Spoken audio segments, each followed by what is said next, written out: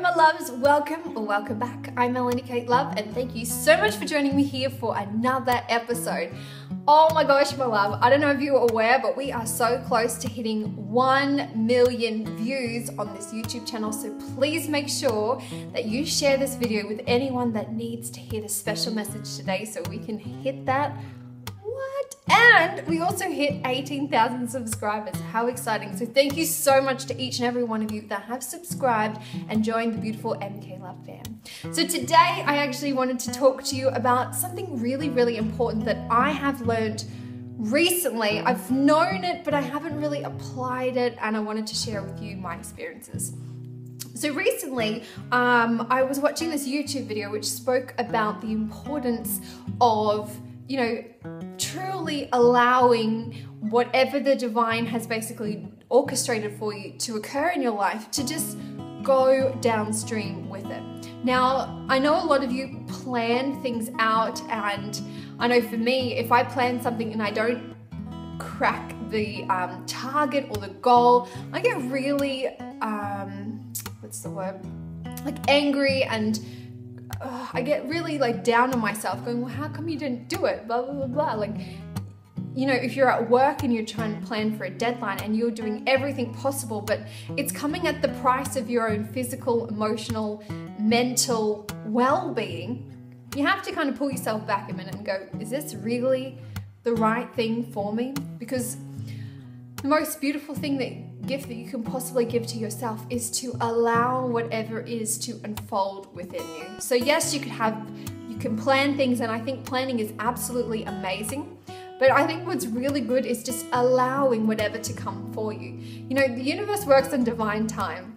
And sometimes what we need to do along the way is to learn special lessons that are going to help us grow and look at them as a way to evolve and to, you know, lift your consciousness up and, you know, just kind of recalibrate yourself so that you have the, the knowledge, the skills, the tools, and the strategies to do better next time.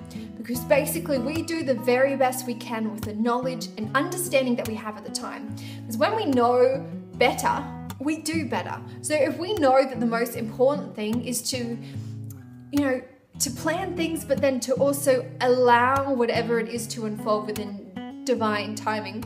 It's basically, you think about it, us humans made up the concept time. Time doesn't exist. There is no other animal on the whole planet that has a watch and works on timing, um, which is, I think, is a way that a lot of us can be completely messed up.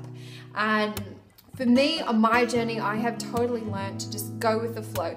Do your very, very best. Yes, plan that you're going to do this, this, and this. But if it doesn't turn out the way that you want, just know that that is divinely orchestrated from the universe, from your angels, whatever it is, to help you you know, maybe there's a different plan for you that you had envisioned. Because I know some people like, I've got a five year plan, I'm doing this, this. I'm like, that is really fabulous, but that's not how I work. You know, I never even imagined that I would be living in the Sunshine Coast. Um, and we are in the process, we're going to be getting rid of this house and we're trying to find um, a tiny house where it's, I don't know what that's going to be for us at this stage, but you know, we're, we're just, we put it out that we want to live in a tiny house and we're like, okay, universe, this is our budget, this is kind of what we want to do, this is kind of the area we want to be help us. We're going to allow whatever comes through, and I'm sure I'll probably give you an update in one of my monthly Law of Attraction series updates for you. Anyways, my love, I just wanted to stop in and to let you know that planning is good, allowing is better, and when you close the gap of resistance, you vibrate on the frequency of love, and that's where beautiful things happen. Anyways, I just wanted to say have an amazing day wherever you're around the world. Please make sure you like this video. It highly, highly supports my channel and I truly appreciate it. Comment below, let me know your thoughts on the matter because I would love to hear from you.